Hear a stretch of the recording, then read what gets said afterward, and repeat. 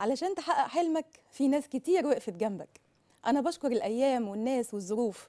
بشكر كل الناس اللي وقفت جنبي وساعدتني. وبشكر الظروف حتى الظروف الصعبة علشان فهمتني وعلمتني مين اللي يستحق العرفان بالجميل. صباح الخير واهلا وسهلا بيكم وحلقة جديدة من برنامجكم استراحة. ولسه مكملين فقراتنا معاكم. لكن في البداية أحب أشكر زميلتي إيمي. صباح الخير يا إيمي. صباح الخير يا داليا. صباح الخير باليقين اللي بيخلينا نثق إن رحمة ربنا أكبر من أي حاجة وأي أزمة ممكن نشوفها. وشكرا لكل أزمة خلتنا نعرف معادن الناس مين فيهم الذهب ومين فيهم الإزاز. صباح الخير.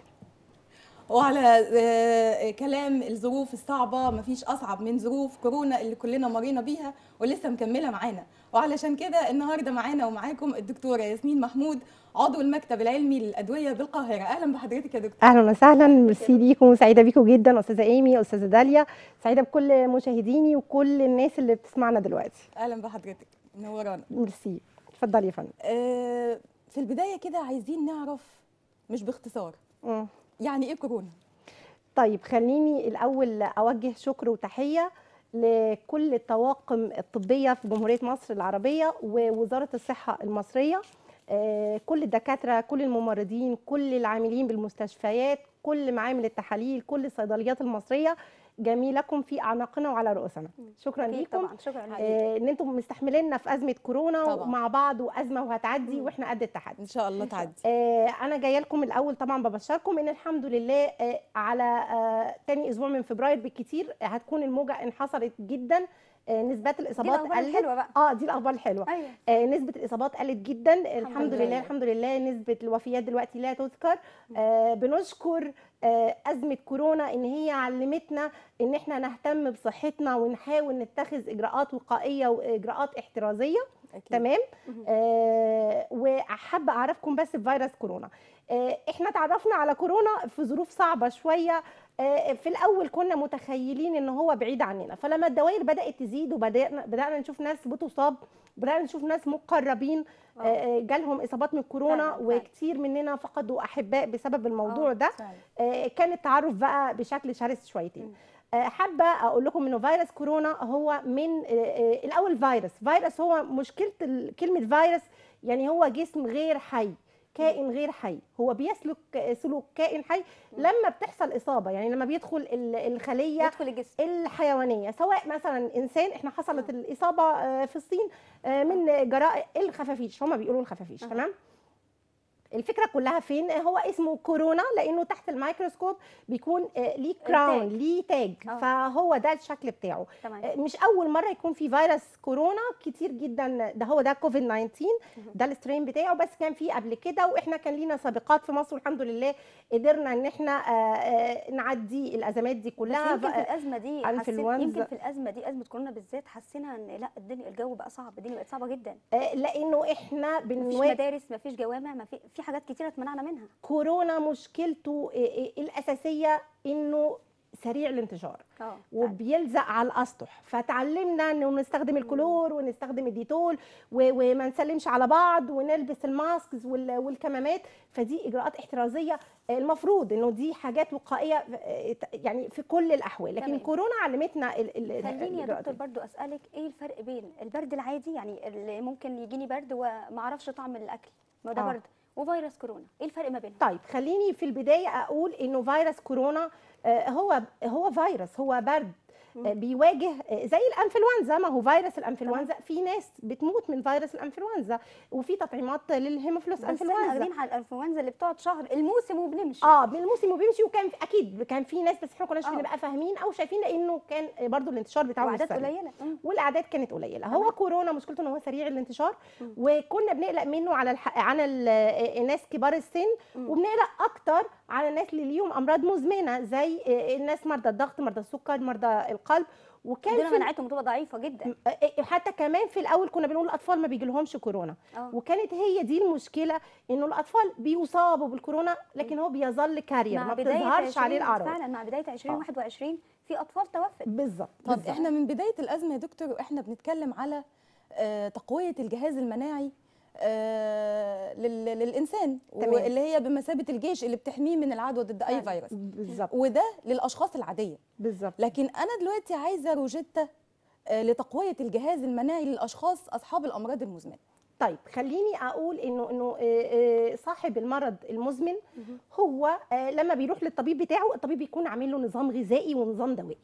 هو لو التزم بالنظام الدوائي والنظام الغذائي اللي الدكتور عامله له آه، مش هيكون قلقان بالإضافة إنه يبدأ بقى يشتغل على يقوي المناعة جهاز المناعة. إزاي؟ نز- نزود فيتامينز في الأكل بقى. إحنا إحنا كمصريين ربنا كرمنا بالترابيزة المصرية. عندنا كل الفواكه كل آه. الخضروات طول. السنة.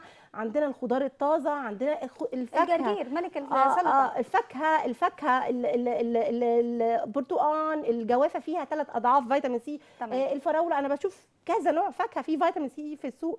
الخضار. يا جماعة يعني نرجع نحط بصلة في في, في طبق ال- الغداء ونكتر بقى من الألوان فلفل ألوان وكده البصل والفول. آه الب- البصل يعني والفول فعلا زي الخضروات والفاكهة والحاجات دي ليها دور في تقوية الجهاز المناعي. طبعا طبعا. أنا بقوي الجهاز المناعي عن طريق حاجتين. طبعا المناعة الذاتية بتاعتي عن طريق الأكل وطبعا الحركة وضوء الشمس و... و... ونفسية. يا جماعة النفسية يا جماعة آه،. النفسية. آه، آه، آه، النفسية مهمة جدا آه، علشان أقدر قبل الإصابة أقوي جهازي المناعه وفيما بعد الإصابة حالات الذعر اللي بتحصل. ما هو حالات الذعر دي ممكن نفسية الإنسان هي اللي تأثر على مناعته بالتالي أنا بضعف الجيشي اللي ربنا اداهوني. طب قولي تمام. لنا حضرتك الأعراض اللي بتظهر لفيروس كورونا عشان لو حد من الجمهور حاسس بالأعراض دي وبيقول لأ ده برد مش كورونا. آه، طيب. آه، اولا ما انصحش حد يا جماعة ما فيش مكابرة. ما حدش. يكابر. ما. حدش يقول ما حدش كبير على المرض. وما وبرده في على الناحية الثانية ما بقاش ما يبقاش في حالات ذعر. يعني ما ي- ما يبقاش في ذعر. طب. إيه الحاجات اللي أقدر أقول ده كورونا؟ ارتفاع الحرارة. ارتفاع درجة الحرارة بشكل مفاجئ وبشكل سريع.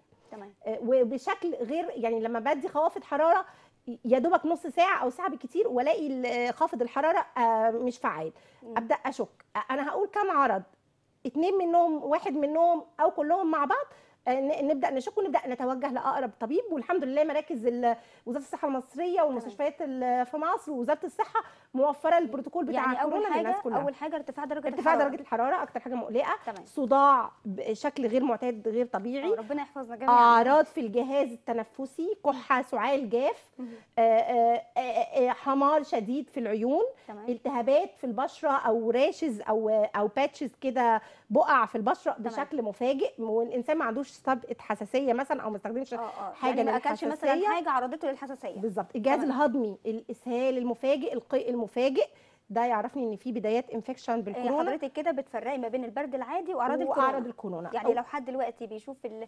بيسمعنا وشا... وشايفنا وشايف الأعراض دي عنده لا يتوجه للمكان اللي الدكتور قالت عليه وإن شاء الله بإذن الله المراكز الطبية كلها عندهم بروتوكول. كورونا والمستشفيات كلهم والأطباء والصيادلة والدكاترة كلنا دلوقتي بقينا مدربين على مواجهة كورونا. ويا جماعة دي أزمة وهتعدي والناس كلها دلوقتي بتقدر تفرق بس ما حدش يكابر رجاء ما حدش يكابر. هو على ضوء الإصابة بال- بفيروس كورونا كان من المفترض أن يكون معانا الفنان القدير مجدي صبحي ولكن آه، نظرا لظروف خاصة مش هيقدر يتواصل معانا وطبعا تمنياتنا له بالشفاء العاجل بإذن الله. أتمنى له الشفاء إن شاء الله. يعني يا رب إن شاء الله تعدي على خير إن شاء إن الله شاء بإذن الله إن شاء بإذن الله. الله. طيب يا دكتور هو آه، كتير مننا من أول الأزمة بناخد بقى فيتامين C وفيتامين D وفيتامين ألف وزنك هل كل ال- ال- الفيتامينات دي نقدر ناخدها بدون استشارة طبيب؟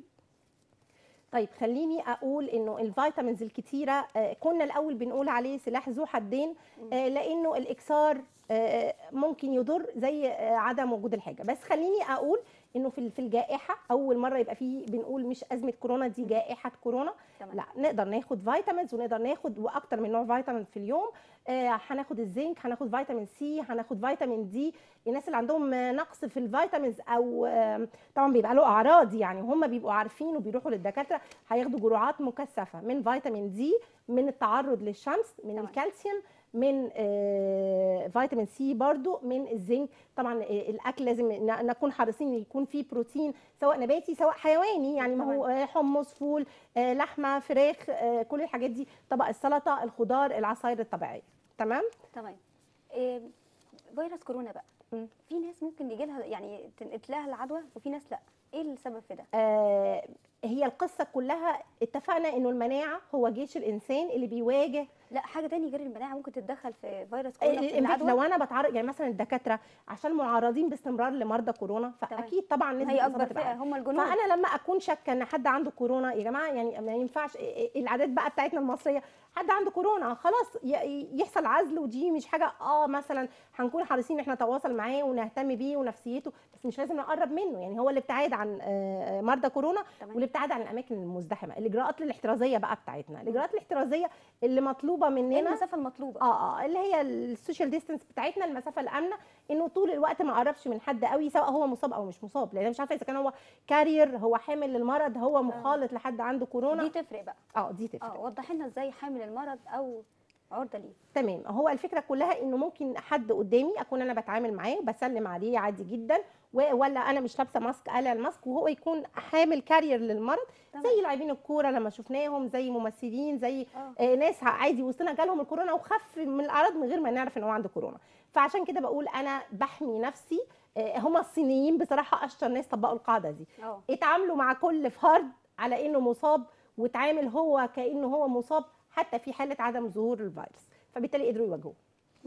تمام. يعني لو حضرتك يا دكتور دلوقتي تدينا روجيتا آه، إرشادات آه، وقائية نتبعها. بالظبط. أنا حابة أقول آه، إن نرجع بقى للأكل المصري بتاعنا الأكل الجميل.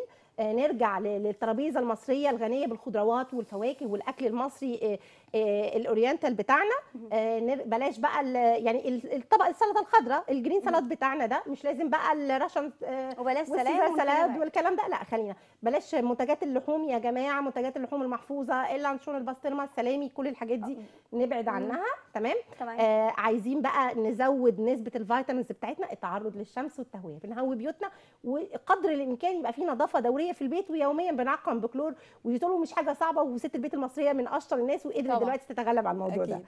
تمام الحقيقة بنشكر حضرتك جدا على المعلومات القيمة دي وعلى وعد بلقاء تاني إن شاء الله لأن. لسه عندنا أسئلة كتير محتاجين نقولها. يعني. في أي وقت وتحت أمركم وتحت أمر جمهوري وأزمة وهتعدي وأنتم إن قد التحدي إن شاء الله تعدي بإذن. الله بنشكر حضرتك الناس اللي ساعدتك وقفت جنبك هي أكتر ناس بتفرح لما بتوصل لحلمك احلم واتعب هتلاقي مليون إيد تتمدلك وافتكر كويس إن في ناس كتير غيرك ما بتعرفش تحلم شكرا يا ايمي شكرا يا داليا شكرا يا دكتور. ميرسي يا حبيبتي شكرا, شكرا. لفيروس كورونا اللي خلانا نعرف قيمة النعمة بعد ما راحت مننا.